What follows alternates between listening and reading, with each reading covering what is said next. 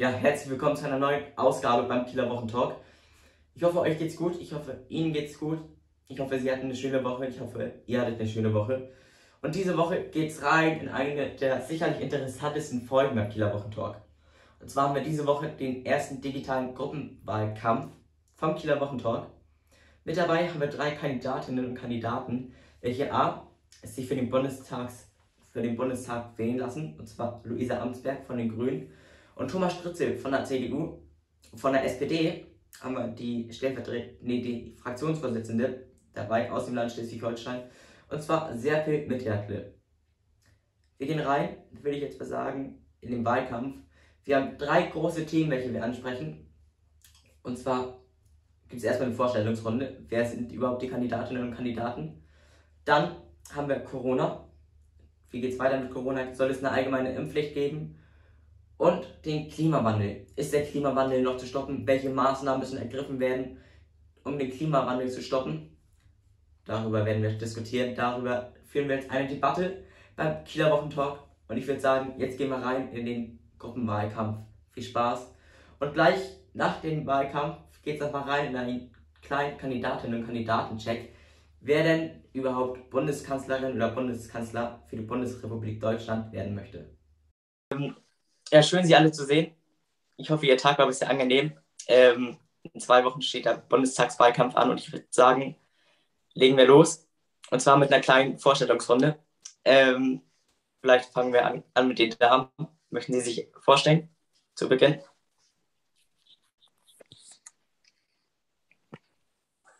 Luise, magst du anfangen? Genau, wir gehen einfach alphabetisch vor, dann löst sich das Problem.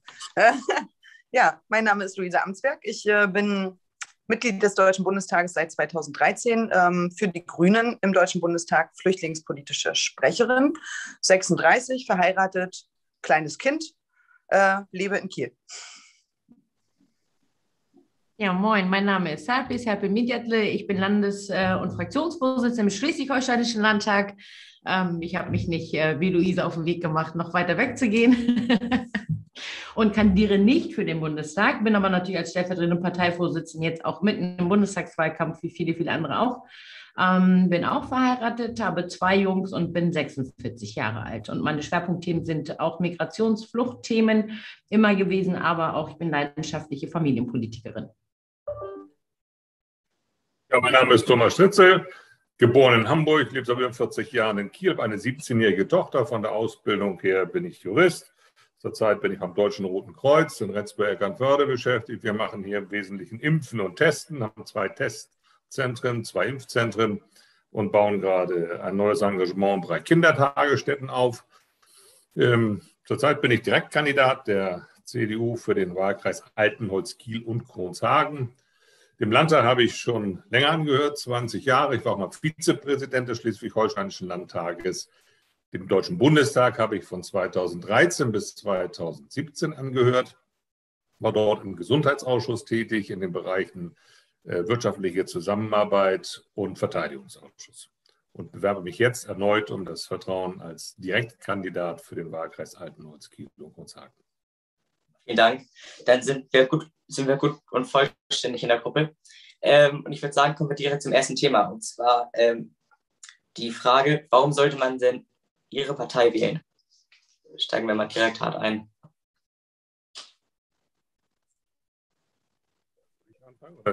Die gleiche Reihenfolge wieder? Das heißt ich, ja? Okay. Genau. Äh, müssen wir nochmal klären. Wir können ja mal, wir können ja in die eine Richtung hin und in die andere Richtung wieder zurück oder so, damit das hier ähm, ist ja immer auch unterschiedlich, wer anfängt und so weiter.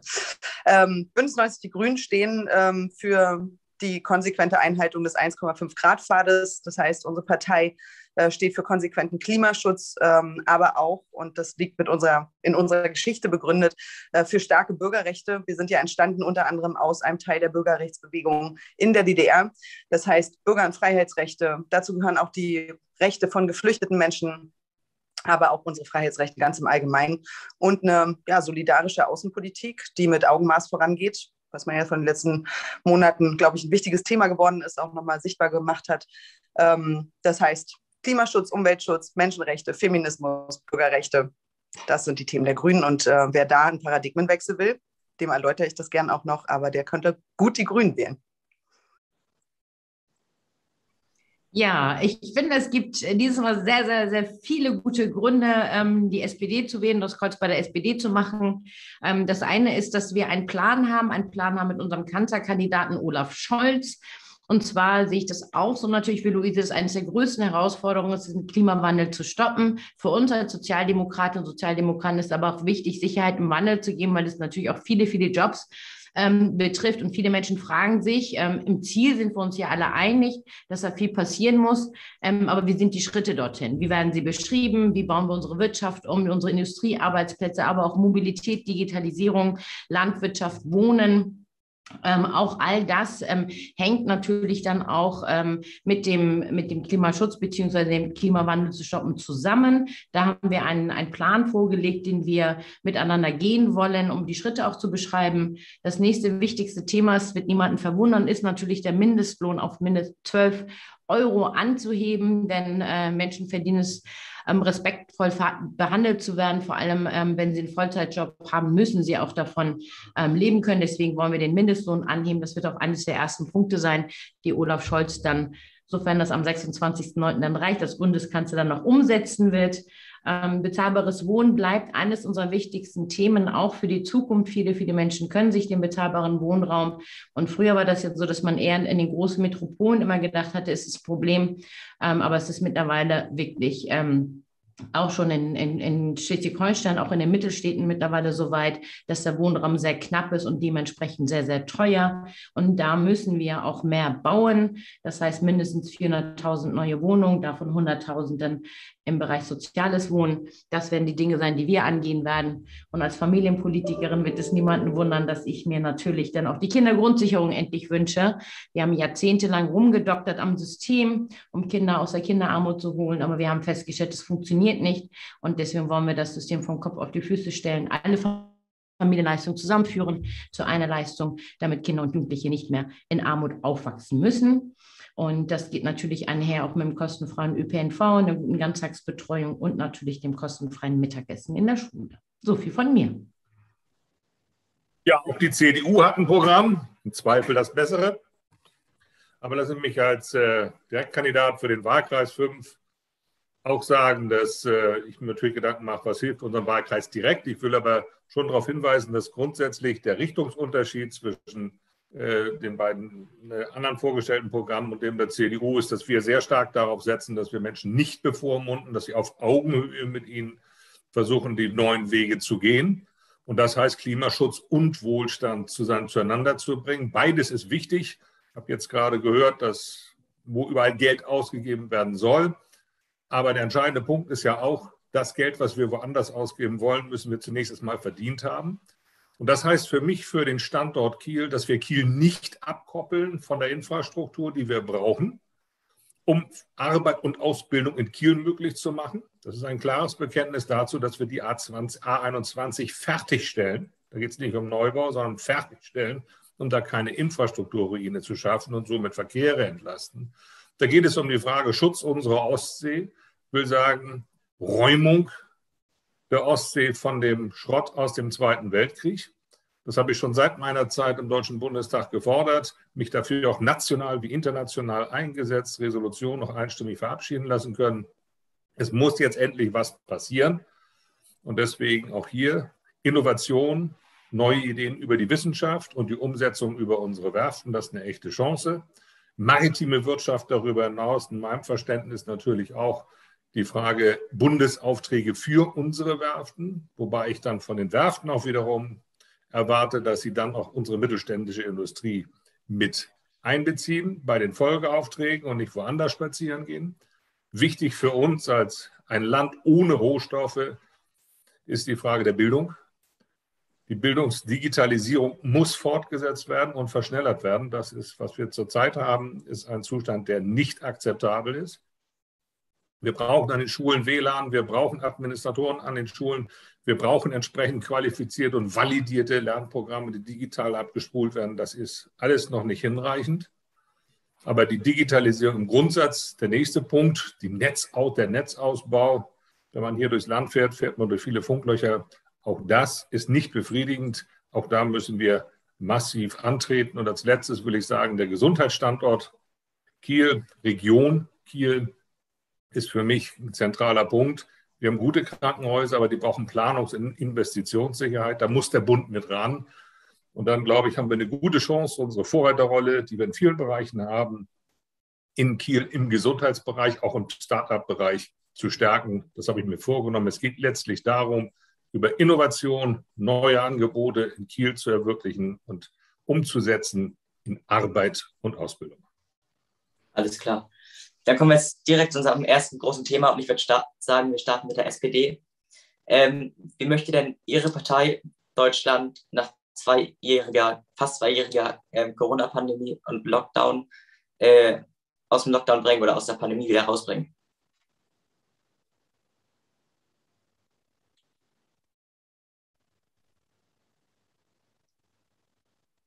Bei mir waren Sie gerade kurz weg. Können Sie nochmal die Frage wiederholen? Sehr gerne. Ja. Ähm, wir leben jetzt ja nun seit knapp zwei Jahren mit Corona.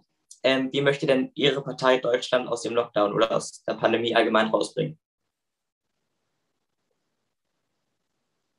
Jetzt kann ja Herr Stritzel einmal anfangen. Oder, Luise? Entscheidet jeder Moderator, nicht, nicht, nicht selbstständig. Ja, Herr Stritzel, sehr gerne. Ja gut, dann fange ich an. Wenn die SPD nicht möchte, mache ich das. Äh, CDU vor SPD finde ich auch eine gute Reihenfolge, auch bei der Wahl her. Ähm, also einmal Lockdown hat uns, glaube ich, in, in Deutschland massiv in den verschiedensten Bereichen beeinträchtigt. Das ist nicht nur wirtschaftlich, nicht nur finanziell. Es ist für mich auch die Frage psychisch, familiär. Das war eine hohe Belastung für Einzelne, für Familien, für Alleinerziehende aber eben auch für den ganzen Arbeits- und Wirtschaftsprozess. Und es wird jetzt eine der Herausforderungen sein, unsere Wirtschaft möglichst schnell wieder so auf die Beine zu stellen, dass sie all das bezahlen kann, wovon vorhin gerade so trefflich gesprochen wurde.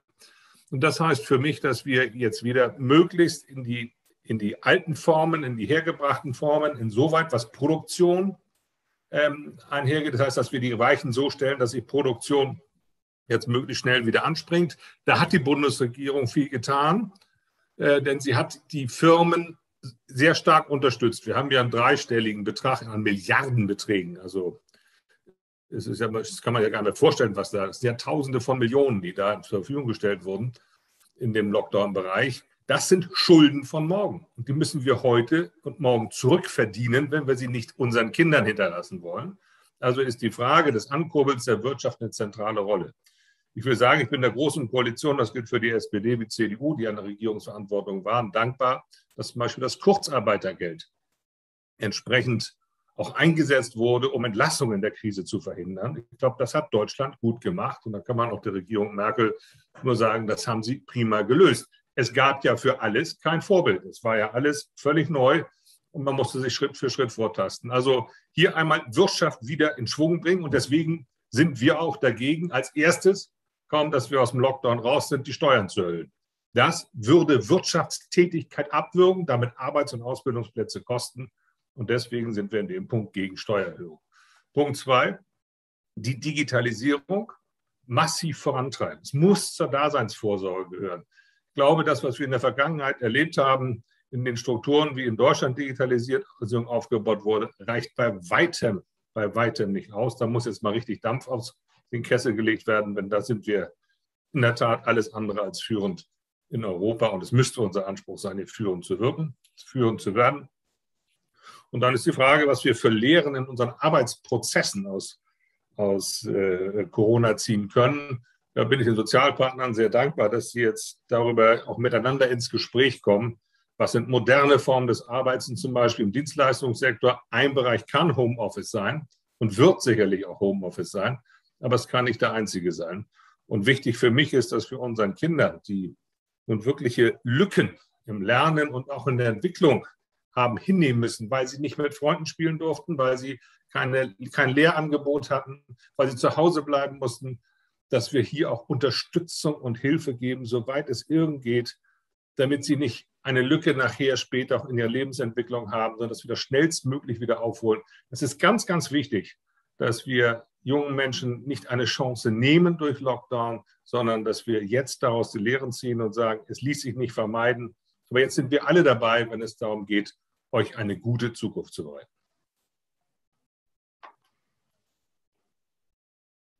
So, dann mache ich einmal weiter. Ähm, Im Grunde genommen, wenn man sich das anschaut, vor allem die letzten anderthalb Jahre, sieht man ja, dass wir Deutschland ähm, und auch die Menschen, dass wir sehr, sehr gut durch diese Krise gekommen sind. Und das haben wir natürlich einmal auch ähm, der Arbeit ähm, der Bundesregierung, hier insbesondere dann auch, wem wird es wundern, oder Scholz zu verdanken mit dem Konjunkturpaket, was wir auf den Weg gebracht haben, mit dem Konjunkturprogramm. Ähm, in diesem Programm wurde nicht nur Arbeit gesichert, wie zum Beispiel mit dem Kurzarbeitergeld, sondern wirklich zukunftsweisende ähm, Programme auch auf den Weg gebracht. Ähm, wir haben ein ziemlich hartes Bashing gekriegt, wo niemand sich an unsere Seite gestellt hat, als wir gesagt haben, wir wollen nicht mehr die Dieselmotoren ähm, im Bereich äh, Mobilität fördern, sondern wir gehen ja ganz klar auf E-Mobilität und werden hier auch nochmal die Krise auch dafür nutzen, ähm, Akzente für die Zukunft zu setzen.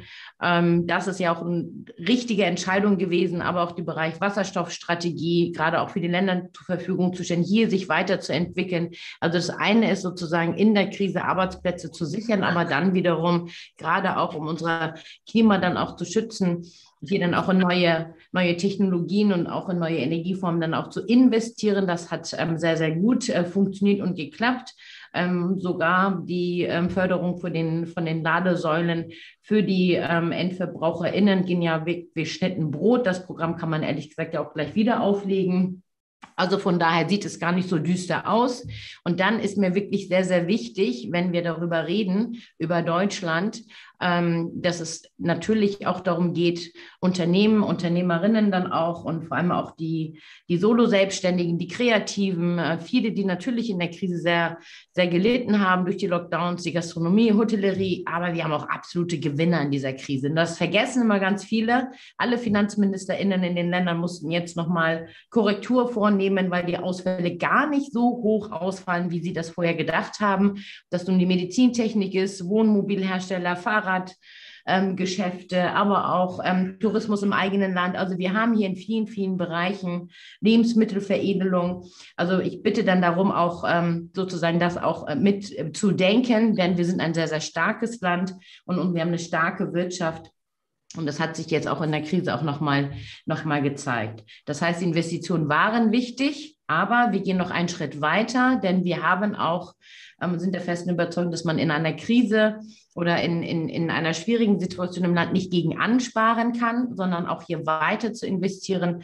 Ähm, deswegen ist der ganz klare Wunsch, auch um den Umbau der Industrie und der Wirtschaft voranzutreiben, in den nächsten Jahrzehnten mindestens 50 Milliarden auch weiter zu investieren in unsere Gesellschaft. Und ich glaube, das ist die beste Investition für die Zukunft, ähm, in die Struktur, in die Infrastruktur zu investieren. Letztendlich schafft es Arbeitsplätze, sichert Arbeitsplätze und das bringt auch wieder Steuereinnahmen. Und ähm, das wird auch eines unserer Ziele sein. Der aller, allerwichtigste Punkt aber, um durch diese Pandemie zu kommen, machen wir uns da nichts vor, der kostet im Moment den Menschen nichts. Und das ist das Impfen. Und ähm, wir haben jetzt wirklich genügend Impfstoff da. Am Anfang war es knapp, aber jetzt ist er da. Er wird überall zugänglich gemacht, ähm, ob das die Impfzentren sind, die mobilen Impfzentren, ob das vor Stadien ist, ob das auf Volksfesten ist, vor Jahrmärkten. Überall gibt es Impfangebote ähm, für die Menschen und die Menschen müssen sich oder sollten diese Angebote jetzt auch wirklich dann auch wahrnehmen, also so niedrigschwellig wie möglich dann diese Angebote weiter fortzusetzen, sich zu impfen, weil wir brauchen eine vernünftige Impfquote, damit wir tatsächlich durch diese Pandemie dann auch kommen, weil wir dürfen ja nicht vergessen, dass ähm, ja nicht jeder die Möglichkeit hat, sich impfen zu lassen. Insbesondere die unter Zwölfjährigen können sich im Moment nicht impfen lassen, weil da gibt es leider für die Kids noch keinen Impfstoff. Das heißt, jeder, der sich impft, ähm, schützt sozusagen oder trägt einen Beitrag dazu bei, auch die anderen, die sich nicht impfen lassen können, auch Ältere oder Menschen mit anderen Erkrankungen, die sich leider nicht impfen lassen können, diese auch zu schützen. Das wissen wir, das haben die WissenschaftlerInnen predigen das ehrlich gesagt schon von Anfang an. Von daher zu werben für das Impfen, Impfen, Impfen. Zur Digitalisierung hat Herr Stritzel ja auch schon einiges gesagt. Ich würde mir wirklich wünschen, ähm, dass wir die Erkenntnisse und machen wir uns nichts vor, das ist ja nicht wegen Corona, da haben wir die Erkenntnisse, sondern Corona hat ganz, ganz vieles offengelegt, wo wir einfach noch nicht so weit waren. Auch diese Chance der Digitalisierung auch wirklich dafür zu nutzen, ähm, auch weiter im Bildungsbereich da auch voranzuschreiten, diese neuen Formen und neuen Möglichkeiten auch nutzbar zu machen. Und das Schlimmste wäre, dass nach Corona die ganzen digitalen Endgeräte ähm, die man hat, dass die dann sozusagen in der Schule im Schrank wieder verschwinden und abgeschlossen werden, weil das kann es natürlich nicht sein, weil die Digitalisierung natürlich auch ganz, ganz viele Vorteile bringt, auch neue Lernformen auszuprobieren. Hier geht es natürlich nicht nur alles online zu machen, aber offline und online vernünftig miteinander zu verbinden. Das wäre auf Höhe der Zeit und vor allem machen wir uns nichts vor. Das ist auch die neue Arbeitswelt. Und da dann auch ähm, die Kinder und Jugendlichen vernünftig vorzubereiten mit guten Angeboten, das muss tatsächlich einmal das Ziel sein. Jetzt mache ich mal einen Punkt, sonst werde ich zu lang. Ja, ich glaube, weil ich äh, weiß ja, Luis Karl, dass ähm, wir eine ganze Reihe von Fragen noch offen haben. Ich, äh, wir kommen damit nicht durch bis äh, um 15 Uhr, wenn wir so weitermachen. Deshalb würde ich mich jetzt auf einen Punkt konzentrieren. Also erstens möchte ich sozusagen das Statement abgeben, dass in dieser Frage ich mir wünschen würde, dass wir als äh, Fraktionen, demokratische Fraktionen, noch mal ein bisschen mehr den Schulterschluss suchen und versuchen, weniger die Unterschiede herauszuarbeiten, sondern wirklich zu definieren, was ist das, was wir jetzt sozusagen zu leisten haben. Äh, weil es ist eine äh, globale Pandemie und wir müssen da gemeinsam durch. Da wird es keine Parteifärbungen geben können, sondern wir müssen äh, schauen, was bringt uns am besten raus. Und ich finde jetzt, wenn ich mir so auch auf die, ne, und das kann ich auch selbstkritisch sagen, als Grüne jetzt auf die Maßnahmen, die das Land auch beschlossen hat, schaue, dann äh, glaube ich, dass wir jetzt gerade in einer Situation sind, wo wir wieder einmal unterschätzen, was kommt. Ja, wenn wir jetzt nur noch sagen, die Hospitalisierungsrate ist die Maßgabe, nicht mehr der Inzidenzwert, kann ich als Mutter von einem kleinen Kind sagen, dass ich nicht impfen lassen kann. Das springt mir zu kurz. Wenn wir jetzt sagen, 3G-Regel, also auch Leute, die getestet sind, können in alle Cafés und Kinos rein und dürfen da auch die Maske abnehmen dann sage ich voraus, dass das ein politischer Fehler ist. Das möchte ich hier einmal festhalten. Ich bin gerade nicht glücklich mit der ähm, Corona-Politik, weil ich glaube, sie bringt uns wirklich wieder in eine Situation, äh, lässt das Virus mutieren und am Ende bezahlen wieder einmal die, die die ganze Zeit schon die Kosten tragen, und zwar relevante, nämlich die jungen Leute. Wir haben ja ein Problem und das ist, gilt es rauszuarbeiten, nämlich dass wir immer noch Leute haben, die sich nicht impfen lassen gar nicht so sehr aus ideologischen Gründen, sondern aus Bequemlichkeit, wie ja auch Statistiken zeigen. Und das finde ich einfach krass und unsolidarisch. Und ich würde mir wirklich wünschen, dass, ja, also niemand will Pflicht, Impfpflicht haben, so, weil das einfach krasse Ansagen sind an die Persönlichkeit, ja, äh, jemand zu verpflichten, sich impfen zu lassen. Aber was man schon tun kann, und das finde ich, kann man auch offen ansprechen, ist, dass man es komfortabler macht, sich impfen zu lassen. Und das geht natürlich nicht, wenn man einfach keine Einschränkung mehr hat. Ja, also außer sich testen zu lassen. Und das ist gerade der Weg, den wir nehmen und den finde ich falsch. Das möchte ich explizit sagen, ähm, weil ich auch weiß, wenn ich jetzt ins Kino gehe als Geimpfte, aber da sitzen lauter Getestete, die, ähm, weiß nicht, äh, auch ohne Maske da sitzen, ich kann das Virus weiter verbreiten. Und zwar unter anderem an meinen sechsjährigen Sohn. Und das möchte ich nicht. So, und deshalb wünsche ich mir, dass wir jetzt noch mal eine Weile durchhalten, dass wir nicht die Wirtschaft einschränken. Herr Striezer hat es jetzt zu Recht gesagt am Anfang, wir müssen wirklich gucken, dass wir da rauskommen aus diesen Halb- und zeitweisen Lockdowns, aber dass wir klar machen, ja, geimpft hat man hier volle Zugänge, ungeimpft eben nicht. Und das ist wirklich auch meine Position, weil ansonsten glaube ich wirklich, kommen wir nicht raus aus dieser ewigen Schlaufe des hier mal einschränken, da mal wieder Notfallmaßnahmen und so weiter. Äh, das halte ich für notwendig und vor allen Dingen, weil es eben eine große Gruppe von Menschen gibt, die sich nicht impfen lassen können, alle unter Zwölfjährigen.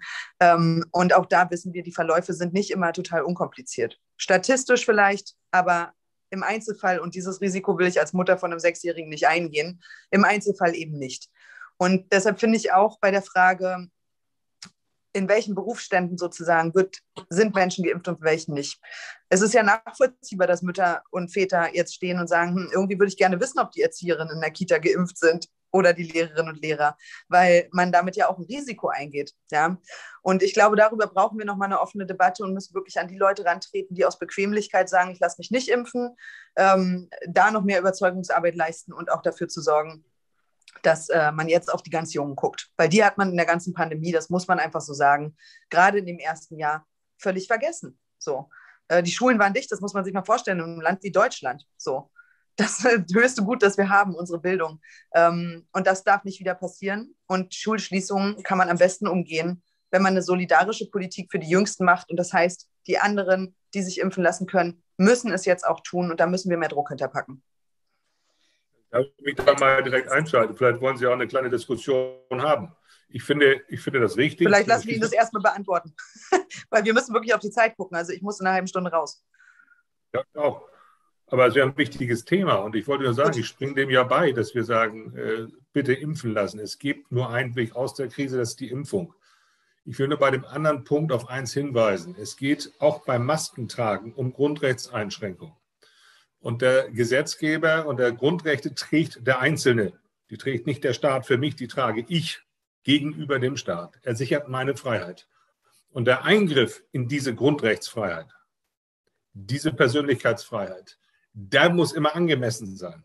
Und die Abwägung im Einzelfall ist natürlich schwierig, aber das ist der Hintergrund, warum man jetzt sagt, wenn ein Geimpfter oder Genesener ein 1 hoch minus 10 niedrigeres Potenzial hat, ansteckend zu sein, dann ist die allgemeine Maskenpflicht nicht mehr verhältnismäßig.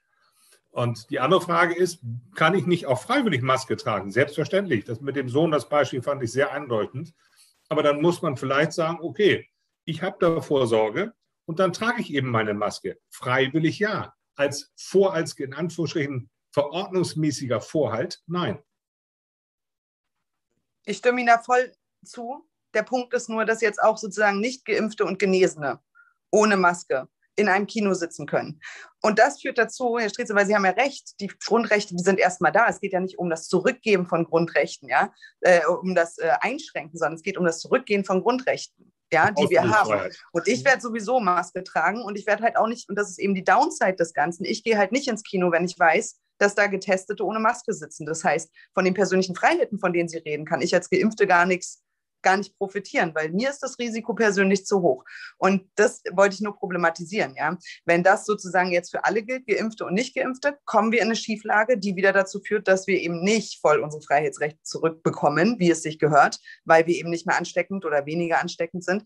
Also da ist keine Verhältnismäßigkeit. Und das, finde ich, müssen wir jetzt diskutieren. Das ist ein Punkt, oder? Sehen Sie es nicht auch? Da sind wir unterschiedlicher Meinung, okay. weil auch der Getestete einen frischen Test haben muss und keinen Test von anno dazu mal und die Viren, das sei jetzt mal medizinisch, gewisse Zeit brauchen, bis sie sich überhaupt entwickeln können. Aber das ist jetzt eine andere Frage. Insofern teile ich das Gefähr die Gefährdungsanalyse von Ihnen so nicht. Aber wir sind uns ja einig im Punkt Impfen, Impfen, Impfen. Und das ist wirklich in der Tat, wer impft, schützt sich selber, aber er schützt andere. Und diese Form von, diese Bereitschaft zur Solidarität sollten wirklich alle, die es können, auch aufbringen. Völlig einer Meinung. Ähm, wie stehen Sie denn zu einer allgemeinen Impfpflicht? Äh, gerne ein kurzes Ja, ja, Nein und eine kleine Begründung. Ähm, starten wir mit der SPD. Ich glaube, da haben wir jetzt alle drei ja schon uns ganz klar zu geäußert. Es wird keine Impfpflicht.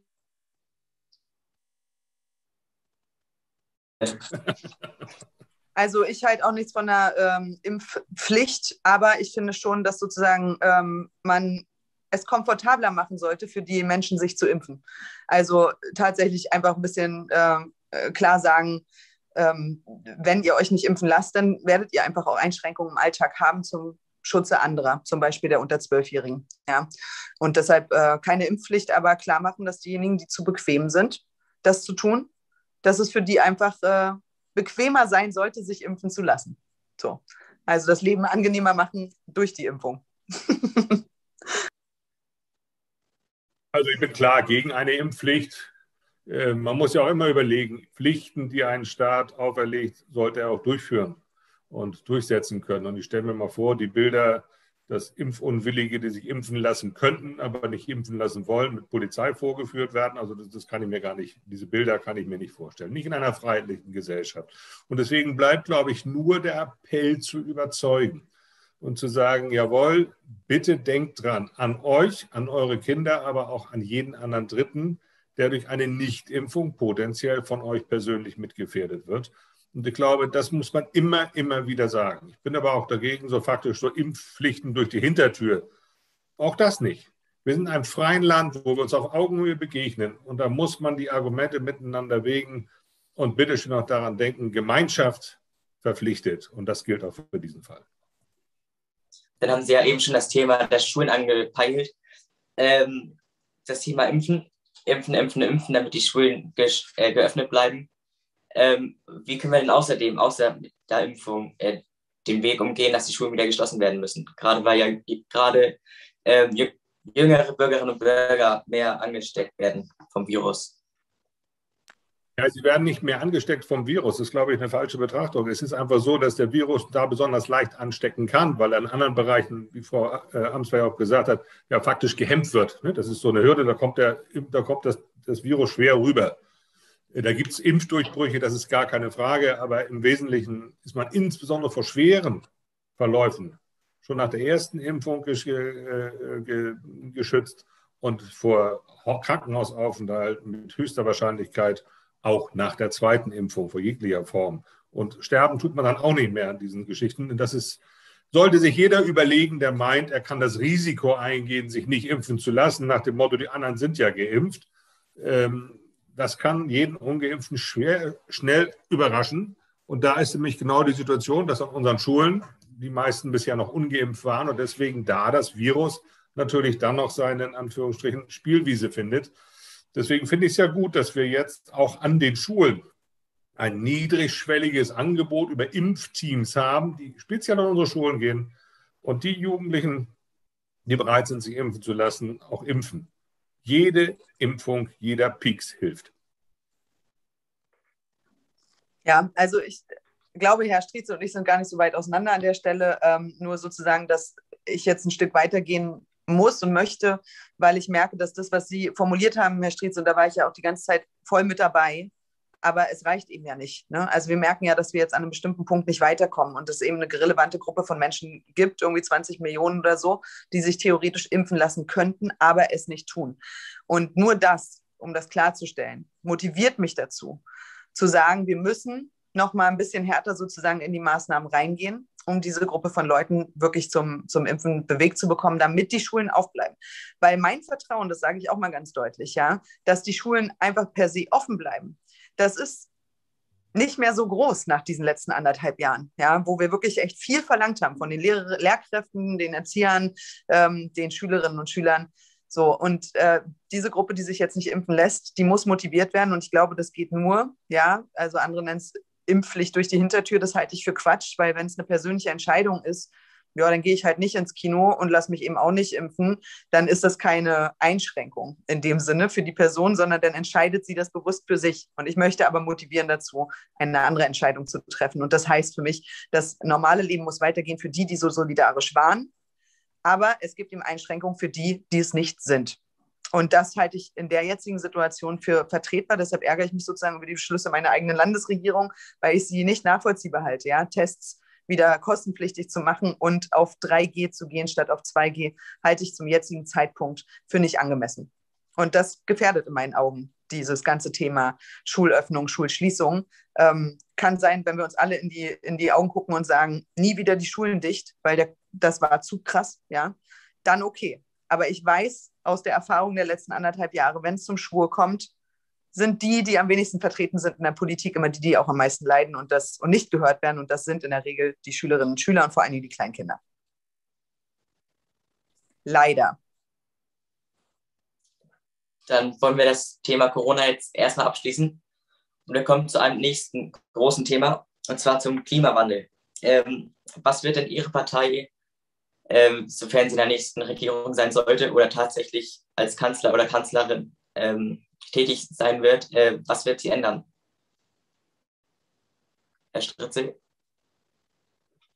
Ja, die, also die CDU bekennt sich zu dem Beschluss des, äh, der Großen Koalition, die wir ja in diesem Kabinett ja noch beschlossen haben, im Nachgang zu dem Urteil des Bundesverfassungsgerichtes, wonach nun der, die Klimaneutralität in Deutschland bis zum Jahre 2045 hergestellt werden soll. Ich muss sagen, das ist ein sehr mutiger Beschluss, über den wir uns und seine Folgen noch sehr ernsthaft werden streiten müssen, weil er natürlich bedeutet, dass wir erhebliches, erhebliche Potenziale heben und äh, realisieren müssen. Und das geht nicht, ohne dass es einen dann auch betrifft um zum Beispiel die gesamte Industrie, die wir haben, nehmen Sie mal den Bereich der Aluminiumindustrie, nehmen Sie mal den Bereich der Autoindustrie, jetzt reine Produktions, nehmen wir bei uns im Wahlkreis die Werften. sich vorzustellen, dass die alle ähm, CO2-neutral produzieren, ist schon intellektuell jetzt eine Herausforderung, das in die Praxis umzusetzen. Eine ganz starke Herausforderung. Oder nehmen wir zum Beispiel den Bereich mit, äh, mit dem Verkehr. Klar, kann man sagen, E-Autos. Wir haben zurzeit in Deutschland rund 47 Millionen Kraftfahrzeuge. Davon sind jetzt gut eine Million E-Autos. Haben wir eine gewisse Vorstellung, wie lange das dauert, bis das umgesetzt ist? Weil natürlich nicht jeder die Möglichkeit hat, auch bei einer entsprechenden, äh, wie heißt das so schön, äh, Prämie, sich äh, dieses zu leisten. Die Ladeinfrastruktur ist vorhin zu Recht als notleidend angesprochen worden. Aber selbst wenn wir das schaffen würden mit der Ladeinfrastruktur, gibt es ja Berechnungen, dass wenn allein 500.000 am Tag sich zum gleichen Zeitpunkt entscheiden sollten, in ganz Deutschland aufzuladen, bricht das, eben, bricht das Netz zusammen. So, das heißt, wir haben gar nicht die, die Stromkapazitäten, die wir dafür brauchen. Also all das muss mitgedacht werden. Und das zeigt vielleicht, wie sage ich es nun an den beiden, um mal deutlich zu machen, was da für ein Riesenapparat an Herausforderungen, Anforderungen, Umsetzungsnotwendigkeiten ist. Das wird uns erheblichst äh, ähm, in Anspruch nehmen. Und insofern ist das nicht klein zu denken, was da vor uns steht. Punkt eins. Punkt zwei. Ähm, wir machen dies auf dem Hintergrund, dass wir zurzeit als Deutschland eine sinkende CO2-Last haben. Wir haben minus 50 Millionen Tonnen im Vergleich zu 1990. Wir liegen zurzeit im Anteil der CO2-Ausstoßes weltweit bei rund 1,8 Prozent. Das kann man weiter reduzieren, wollen wir gemeinsam weiter reduzieren. Aber wir müssen auch unseren Blick richten auf, wo die 98 Prozent herkommen, weil das sind die, die das Weltklima massiv beeinträchtigen. Und da, glaube ich, müssen wir Außenpolitik, und deswegen steht Außenpolitik bei uns auch mit am Anfang unseres Programms, stärker als Klimapolitik begreifen. Wir müssen Wege finden, Klimapartnerschaften weit über unsere Grenzen hinaus zu spannen, wenn wir wirklich dazu beitragen wollen, dass der CO2-Ausstoß sinkt und nicht weiter steigt. Denn nachdem er in Deutschland gesunken ist um 15 Millionen Tonnen, ist er international um 3,8 Milliarden Tonnen angestiegen. Das verkraftet unsere Erde auf Dauer nicht. Und deswegen müssen wir außenpolitische Mittel nutzen, um Klimapartnerschaften zu, zu, zu verwirklichen. Punkt eins. Punkt zwei. Dazu ist auch die EU ganz enorm wichtig. Ich begrüße, dass die EU so massiv jetzt auch in den Klimazielen zumindest zusammensteht, aber auch diese auch als EU selber, aber auch außerhalb der EU stärker mit umsetzen zu helfen. Das, glaube ich, ist ein zentraler Punkt, weil viele Länder auf dieser Welt, wo die Mehrheit der Menschen wohnt und immer stärker wächst, die Weltbevölkerung in dem Bereich, nehmen Sie Asien, nehmen Sie Afrika, nehmen Sie Südamerika, da müssen wir helfend eingreifen, um dort wirklich massiv auch mit dazu beizutragen, großes, große Anteile von CO2 zu senken und nicht zuzulassen oder in Anführungsstrichen zuzulassen. Das entscheiden die ja immer selber, deswegen muss man mit denen reden. Das ist dann Politik, die Entwicklungsschritte zu gehen, die bisher zu dem Aufbau des CO2-Potenzials ähm, gewirkt haben. Also jede Menge, jede Menge Aufgaben.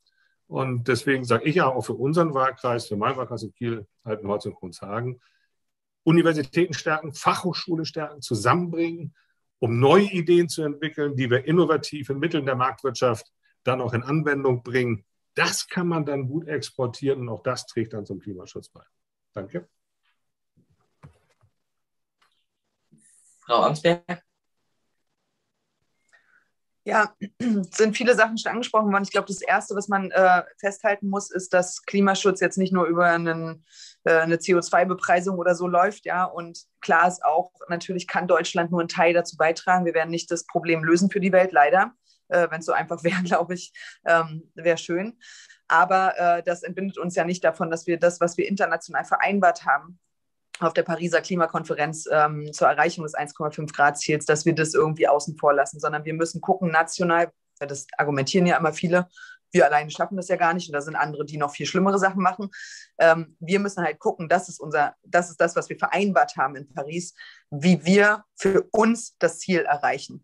Und deshalb sind wir null aus der Verantwortung zu nehmen, wenn sich andere in andere Richtungen entwickeln oder irgendwas, ja, sondern wir müssen da mit gutem Beispiel vorangehen, zumal unsere ähm, Emissionen und unser, ja, unser Leben, so wie wir ähm, hier wirtschaften und leben, äh, ja, krasse Auswirkungen hat für andere Teile dieser Welt, so, die im Übrigen einen viel geringeren Abdruck haben als wir. Äh, das sozusagen vorweggeschickt Klimaschutz für uns bedeutet eben nicht nur das Klassische, sondern dass es sektorenübergreifend funktionieren muss. Ja? Also wir reden von einer Verkehrswende, wir reden von äh, einem ökologischen Umbau, einer Transformation unserer Wirtschaft, wir sprechen von ähm, einer anderen Agrarpolitik und müssen sozusagen über diese verschiedenen Sektoren versuchen, ähm, Maßnahmen auf den Weg zu bringen, die dann auch deutlich am Ende zu ähm, einer Verringerung der Emissionen führen. Und Verkehrspolitik, aber auch die Bauwirtschaft und so sind natürlich so große Brocken. Da wird es Einschränkungen und Maßnahmen geben, äh, die diesem Ziel dienen, die sicher auch zu einer Veränderung hier vor Ort führen. Wir haben aber auch immer gesagt, Klimaschutz ohne Wirtschaftskraft oder ohne die Wirtschaftlichkeit unseres Landes äh, kann es gar nicht geben. Ja, wir sehen es eher andersrum. Wir sagen, sozusagen Wirtschaftlichkeit und Klimaschutz sind also unabdingbar aneinander gekoppelt und wir sehen eine große Zukunftschance da drin. Wir glauben, dass viele Technologien sich eh überholen und wenn wir nicht dafür sorgen, dass wir in Deutschland da mit anderen Technologien kommen und ja, uns auch fortentwickeln und darin auch investieren, dann verlieren wir international den Anschluss. Und ich finde, das Beste, wo man sehen kann, ist die Automobilindustrie. Und da müssen wir einfach zur Kenntnis nehmen, dass wir da wirklich ganz schön was verpennt haben. Kollektiv politisch, aber auch die Industrien hier im Land. Und deshalb, äh, diesen Fehler wollen wir nicht wiederholen, sondern wir wollen international anschlussfähig bleiben. Das heißt, wir müssen dann auch mit der Zeit gehen für unsere Wirtschaftlichkeit und fürs Klima ohnehin. Ja? Deshalb äh, ist das so ein Mix aus Maßnahmen, was uns ganz wichtig ist, weil das haben wir natürlich auch verstanden, dass viele Menschen sich Sorgen machen, dass das Leben teurer wird, dass wir es nicht loskoppeln können von der sozialen Frage. Und wenn man ehrlich ist, ist Klimaschutz eine soziale Frage. Und zwar nicht erst, wenn die Grünen kommen, regieren und krasse Maßnahmen umsetzen, sondern ja jetzt schon. Denn wer wohnt an den dreckigsten Straßenkreuzungen, hat gesundheitliche Probleme dadurch zu ertragen. Wer äh, kann das schöne äh, Häuschen im Grünen nicht haben, wo man eben auch abseits von Städten gut leben kann, ähm, aber gut angebunden ist? Ja, wie ist das sozusagen auch mit der Arbeitsbelastung? Diese ganzen Fragen spielen da ja mit rein. Und deshalb ist es wichtig, auch äh, Klimaschutz sozial verträglich zu gestalten. Und da, wo es nicht geht, sich die Frage zu stellen, wie können wir als Politik, als Staat da auch äh, unterstützen. Also das muss man zusammendenken, möchte ich damit sagen. Und äh, wir müssen da auch zu einer größeren Chancengerechtigkeit kommen. Die Frage Klimaschutz, Soziales ist also eine, die sich jetzt schon akut stellt. Und da ist es mir zu wenig, wenn manche sagen, ähm, ja gut, das wird hier alles teurer mit Klimaschutz. Die Wahrheit ist, es ist jetzt schon teuer. Und zwar die Gesundheit der Menschen, die Lebensmittelqualität, die Frage, wie wir wirtschaften und auf wessen Kosten. Wenn das nicht hier vor Ort zu sehen ist, dann kann man spätestens irgendwie dahin gucken mit den Ländern, mit denen wir Handel betreiben oder wo wir ähm, Märkte durch unsere Agrarsubventionen kaputt machen. Ja, also wer es nicht vor der Haustür sieht, braucht nur ein bisschen weiter gucken und weiß, dass äh, wir auch das sozusagen auf Kosten anderer tun. Und das ist nicht fair. So, zunächst einmal Entschuldigung, ich glaube, ich bin vorhin rausgeflogen. Keine Ahnung warum.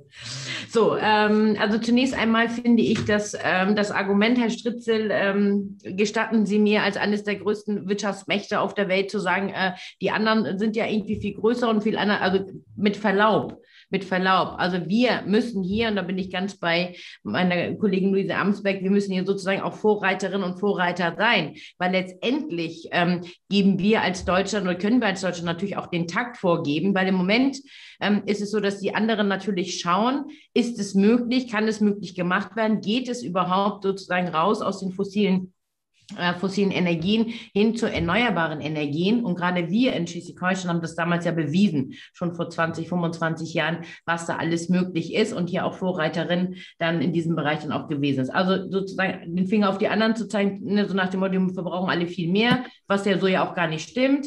Ähm, und dann fangen wir dann auch mal ein bisschen langsam an. Also so wird ehrlich gesagt kein Schuh draus, ganz im Gegenteil. Ja, nicht gesagt, also nicht Sondern, falsch zitieren. Ich habe auf ja, den Unterschied, das Verhältnis von 2% zu 98 hingewiesen. Ja, das ist aber, Grundrechenart. Aber ganz ehrlich, so funktioniert das nicht, ähm, sondern wir sind alle sozusagen, ähm, wir sind alle, müssen unseren Beitrag dazu leisten. Und als Europa haben wir uns ja auch schon entschieden, dass wir gemeinsam diese Verantwortung dann auch angehen werden. Und ich bin der festen Überzeugung, dass gerade wir in Deutschland sehr, sehr wohl auch hier zeigen können, dass man, dass eine Wirtschaftsmacht sich auch umbauen kann. Ähm, um hier dann auch ähm, die Klimaschutzziele einzuhalten. Und noch einmal, wir werden, ähm, und da müssen sich dann auch mal die einen oder anderen auch mal entscheiden, vor Ort das eine zu sagen und woanders was anderes. Wir werden nicht drum herum kommen, die erneuerbaren Energien massiv weiter auszubauen. Wenn wir Kohlekraftwerke auf der einen Seite abschalten wollen, äh, die Atomkraftwerke auf der anderen Seite abschalten wollen, dann brauchen wir hier natürlich auch erneuerbare Energien. Das heißt, ausbauen, ausbauen, ausbauen, das ist das eine. Und dann kann das nicht sein, so wie hier in Schleswig-Holstein. Im Moment gibt es nur ähm, sozusagen Sondergenehmigungen für den, für den Windausbau. Das heißt, da müssen wir viel schneller voranschreiten und das darf dann nicht zig Jahre dauern, sondern nur wenige Monate, dass wir da ausbauen können. Auf der anderen Seite ist das diskutieren wir auch.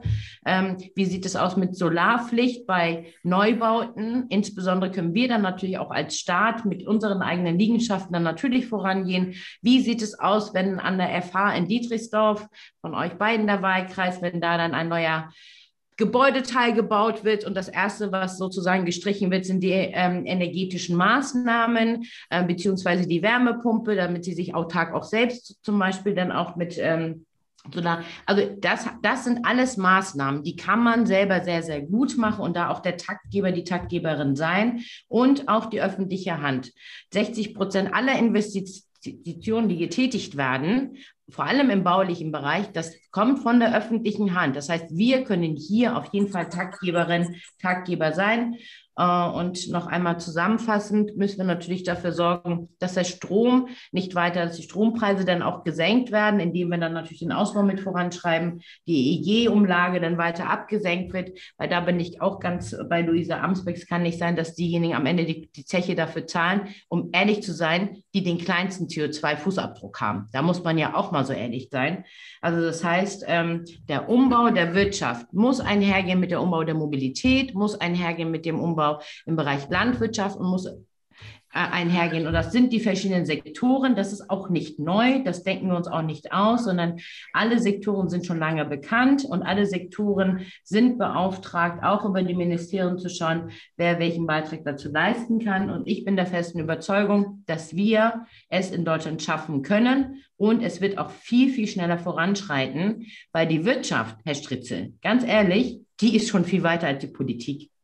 Also wenn ich unterwegs bin im Land, dann erlebe ich dann, wenn ich in der Raffinerie in Heide bin, die sozusagen schon ein an einem Kerosin arbeiten mit erneuerbaren Energien, also einen grünen, einen grünen äh, sozusagen Stoff herstellen und sagen, wir können mit Wasserstoff, haben wir schon vor 25 Jahren gearbeitet, nun stellt jetzt aber endlich mal die Systeme um, damit alles dann auch in eine Richtung gehen kann und dass man mal wegkommt von dieser Wackelpartie, wo entscheidet man sich dann, was die Rahmenbedingungen angeht. Wichtig sind die, bei den Zielen haben wir uns jetzt ja geeint und jetzt geht es um die Rahmenbedingungen. Hier tatsächlich Rahmenbedingungen auch als Politik zu definieren, hier mutig zu sein, damit sozusagen alle auch wissen, welche Richtung dann auch gelaufen werden kann, um hier dann auch weiter drin zu arbeiten. Und machen wir uns auch nichts vor. Wir werden auch weiterhin auch ähm, Energie importieren müssen. Das machen wir jetzt auch schon. Also man muss ja auch nicht so hinstellen, als müssten wir sozusagen die gesamte Energie, die jetzt verbraucht wird, selber äh, produzieren. Haben wir jetzt, machen wir jetzt auch nicht. Es ist ja, es ist, es ist sehr schräg, das zu, das zu glauben. Und auch da machen sich andere Länder schon auf den Weg, hier im Bereich erneuerbaren Energien Dinge sozusagen auf den Weg zu bringen. Das heißt, man ist da schon viel, viel weiter, als man eigentlich denkt. Und ich glaube, dass es an uns liegt, an der Politik liegt, diese Erzählung auch tatsächlich also, auch gemeinsam voranzuschreiten. Ja, also Frau Mediati, ich kann ja verstehen, geht mir auch oft so, dass man technisch aus dem System rausfliegt. Aber das kann ja nicht dazu führen, dass Sie hinterher mich für Dinge in Anspruch nehmen, die ich gar nicht gesagt habe. Nein, das habe ich jetzt Und gesagt. dann sollte man auch nicht diesen Eindruck erwecken. Das will ich nur mal sagen. Und es ist ein Faktum, dass wenn Sie die zurzeit verfügbaren E-Autos alle zum gleichen Zeitpunkt aufladen, dann würde das deutsche Stromnetz um das Fünffache überzeichnet sein. Und der Hinweis aufs EU-Netz hilft dabei nicht viel, außer Sie sagen, ich bin bereit, aus Polen Kohlestrom, aus Tschechien Atomstrom und aus Frankreich ja Stromstoff einzukaufen. Dann schauen sich an in Saudi-Arabien, da werden jetzt massenweise Dann sagen Sie das. Nee, nee, das reicht bei weitem nicht in der Kapazität. So. Ja, aber deswegen ist es ja eben auch wichtig zu sagen, dass Mobilität eben nicht nur aufs Auto und auch nicht nur aufs E-Auto berechnet ja, werden kann, sondern dass wir da einen größeren Umbau brauchen. Ich möchte mit einer Zahl kurz aufräumen, weil mich das wirklich nervt, dass ich das mal wieder höre. Ja, zwei Prozent der weltweiten CO2-Ausscheidungen kommen aus Deutschland. Natürlich werden wir das große Rad nicht drehen, aber wenn man sich vorstellt, dass wir nur ein Prozent der Weltbevölkerung ausmachen, dann ist diese Zahl in ein Verhältnis zu setzen. Und deshalb, ähm, ja, das stimmt, zwei Prozent, aber sozusagen da auf Klimaneutralität zu setzen, ist trotzdem aber richtig, ja. Und wir leben einfach deutlich über dem, was gerecht ist im Vergleich der Welt. Da immer auf andere zu verweisen, ich kann das nicht mehr hören. Ja, außerdem müssen wir mal auch ein bisschen Vorbildfunktion. Wir, wir ruhen uns immer so darauf aus, dass wir Deutschland, starke Stimme in der EU, starke Stimme in der Welt, wir müssen irgendwie in, im Kontext Europa auch den großen, anderen Großen was entgegensetzen und selbstbewusst und autark und dies und das, ja. Das gelingt nur, wenn wir zeigen, dass es möglich ist. Und ich glaube daran, dass es möglich ist, Herr Strieze. Ich will das nicht äh, so einfach aufgeben. Das tun wir ja, doch auch schon. Sehe, wir tun doch Erhebliches. Wir tun viel nur zu wenig. Eindruck zu erwecken, wir würden es nicht tun. Und ich finde, wenn man über Klima redet, dann muss ich doch über die Frage nachdenken, wie viel CO2 wird emittiert und dort, wo am meisten imitiert wird, muss ich am meisten mithelfen. Zu sagen, naja, es ist finde ein Gerechtigkeitsproblem, wenn du bei, zwei, wenn du bei 1 auf 1,6 gehst. Alles wunderbar, also muss gar nicht auseinander. Doch, Aber ich muss dazu genau beitragen, dass die 98 Prozent gestoppt werden. Das ist doch. Aber ja, natürlich, und da hält sich ja auch keiner von ab. Aber diese 98 Prozent, Sie wissen das doch, wie das mit der internationalen Diplomatie, Sie waren doch auch Deswegen. im Bundestag, funktioniert. Wenn man selber nicht liefert, kann man auch ja. nichts von anderen erwarten. So ja, einfach ist es ja in der Diplomatie. Sieht man wir ja in der Diplomatie immer wieder. Und deshalb ist es eben wichtig, dass wir das Ziel erreichen, wenn wir wollen, dass andere auch daran glauben, dieses Ziel erreichen zu können. Da ist Deutschland ein zentraler Punkt, Motor. Und deshalb müssen wir da vorangehen. Und ich glaube sozusagen, äh, das stimmt ja, dass die Wirtschaft uns da ja schon überholt, sozusagen in unserem Denken. Ja, also wenn ich mir vorstelle, dass äh, Stahlproduktion grün funktionieren kann, wie krass, hätte ich nie gedacht, niemals. Ja, wenn ich sehe, dass in Nordfriesland äh, man äh, äh überschüssigen Strom in Wasserstoff übersetzt und dann äh, den öffentlichen Nahverkehr betreibt, das war nicht, was Politik gefördert hat, ja. sondern das ist die Innovationskraft der anderen. Das Einzige, was, glaube ich, auch Frau Mediatli und ich hier sagen, ist, da müssen wir mehr rein. Wir müssen da wirklich mehr Anreize schaffen und diese Unternehmen unterstützen und nicht nur darauf setzen, dass wir kluge Leute haben, sondern das auch äh, entsprechend politisch flankieren. Das ist ja gar nicht so weit auseinander. Na gut, dann los geht's. so, ich muss jetzt leider wie du Samsberg auch raus. Ich habe den nächsten Termin.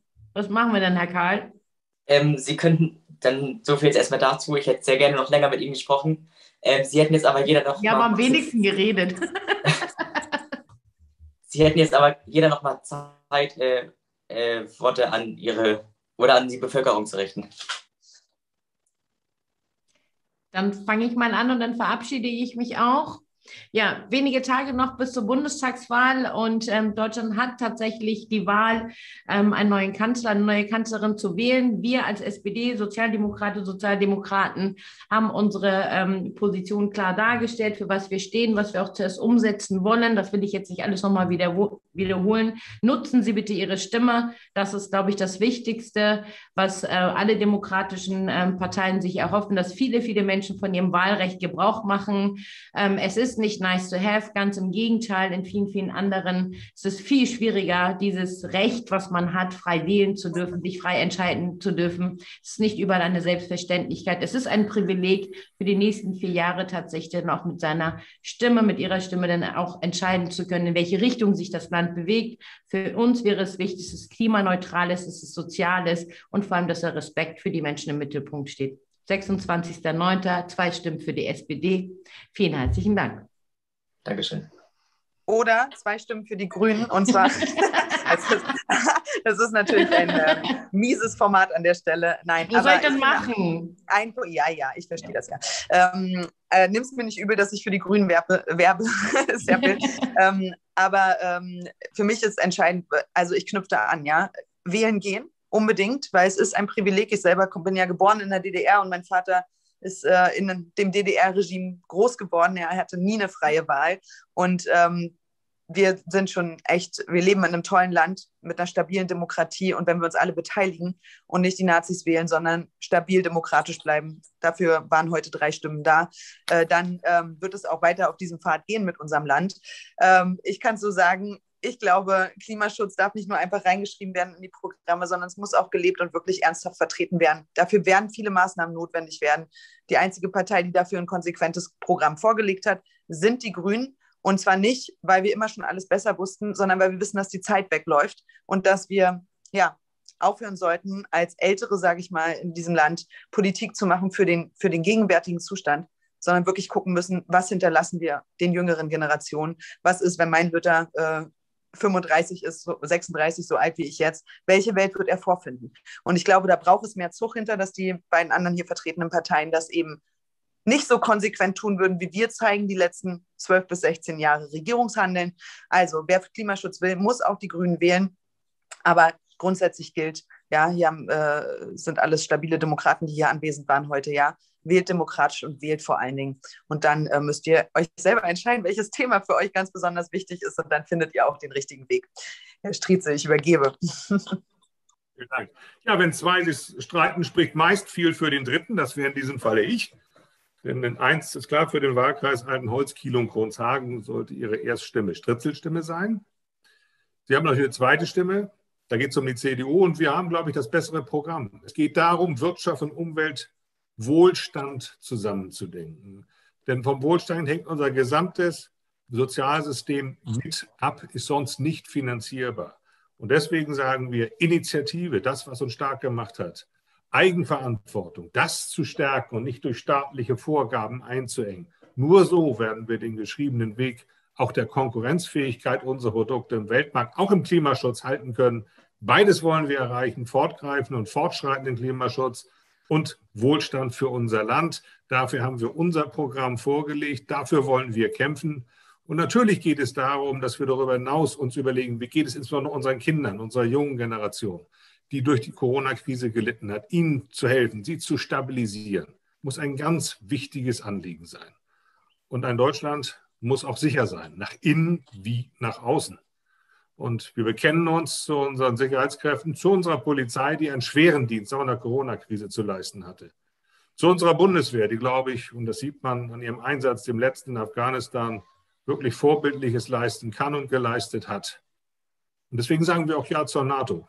Ohne äußere Sicherheitskonzept wird Deutschland in Europa, in der Welt nicht wirken können, weder für Menschenrechte noch für Klimaschutz. Deswegen sagen wir Ja zu diesem Bündnis und deswegen auch Nein zu Rot-Rot-Grün. Eine Beteiligung der Linken an der Regierung darf es nicht geben. Das würde Deutschlands Wohlstand und Sicherheit gefährden. Das wollen wir nicht. Und unser Wahlkreis, Altenholz, Kiel und Kronshagen, der ist auch zu schön. Hat es nicht verdient, rot-rot-grün zu werden.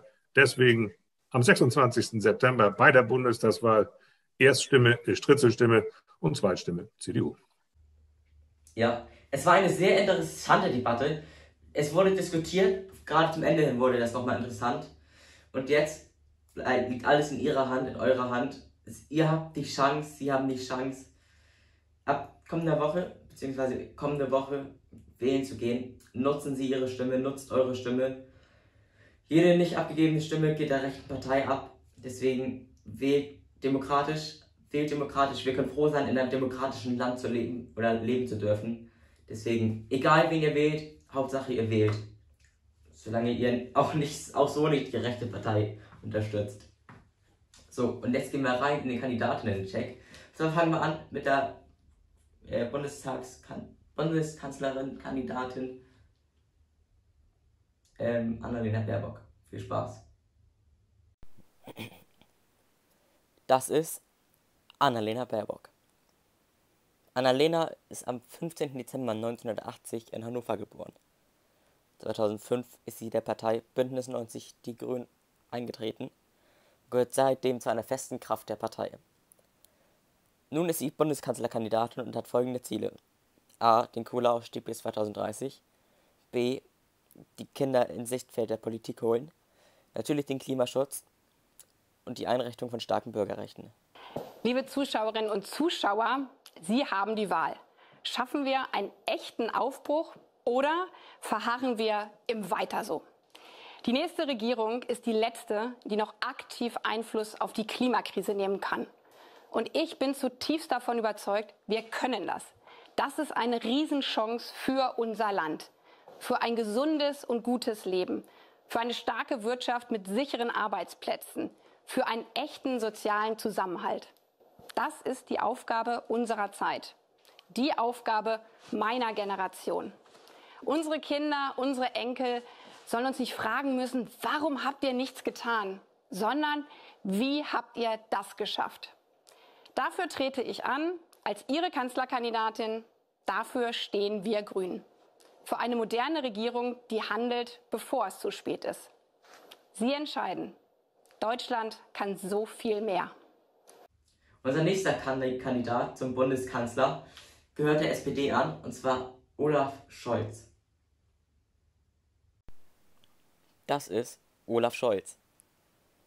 Olaf Scholz ist der Bundeskanzlerkandidat von der SPD. Geboren ist er am 14. Juni 1958 in Osnabrück. Er möchte Kanzler werden und hat folgende Ziele, unter anderem die Einführung eines Mindestlohns von 12 Euro, die Einführung von Fernmieten und die Einführung von stabilen Renten. Es ist jetzt eine Entscheidung über die Zukunft Deutschlands zu treffen.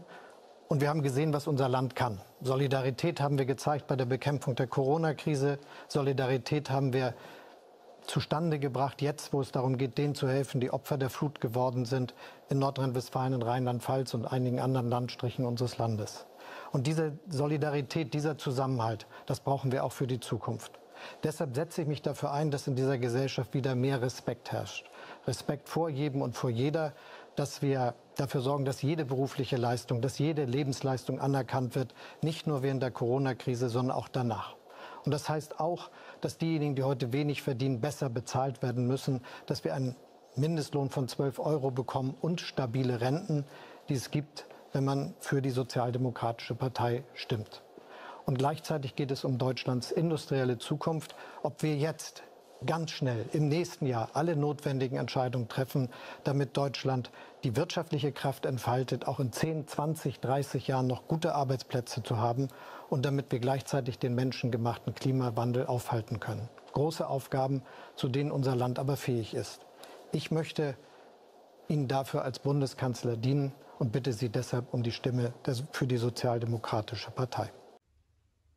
Armin Laschet von der CDU, den gibt es übrigens auch noch. Und da gehen wir jetzt auch nochmal rein in die kleine Vorstellungsrunde. Das ist Armin Laschet. Armin Laschet ist der Kanzlerkandidat von der CDU. Geboren ist er am 18. Februar 1961 in Aachen. Er möchte Kanzler werden und hat folgende Ziele. Er möchte innere Sicherheit, er möchte den Ausbau der Infrastruktur, außerdem möchte er den Schutz der Meere garantieren und eine stärkere Bildung. Dazu hat er Erfahrung gesammelt und zwar seit dem Jahr 2017 im Amt des Ministerpräsidenten aus dem Bundesland Nordrhein-Westfalen. Liebe Zuschauerinnen und Zuschauer, wir drei haben jetzt 90 Minuten diskutiert, aber es geht nicht um uns. Es geht um Sie, es geht um Vertrauen.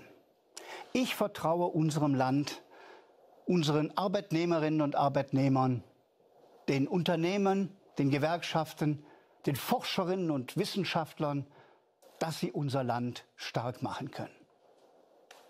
Ich garantiere Ihnen, als Bundeskanzler, Sie können mir vertrauen, dass ich Bürokratie abschaffe, dass ich nicht gängele, dass ich Sie machen lasse, dass wir Ihnen nicht vorschreiben, wie Sie zu denken haben und wie Sie zu reden haben und wie Sie zu leben haben. Und so können wir es gemeinsam schaffen, ein klimaneutrales Industrieland zu werden, ein Land wirtschaftlich stark, sozial und sicher. Dafür steht die Union Dafür will ich als Bundeskanzler arbeiten. Ich will ein Bundeskanzler des Vertrauens werden. Und dafür bitte ich um Ihr Vertrauen. Vielen Dank. Ja, das war die Folge 66 vom Kieler Talk. Ich hoffe, euch hat sie gefallen. Ich hoffe, Ihnen hat die Folge gefallen.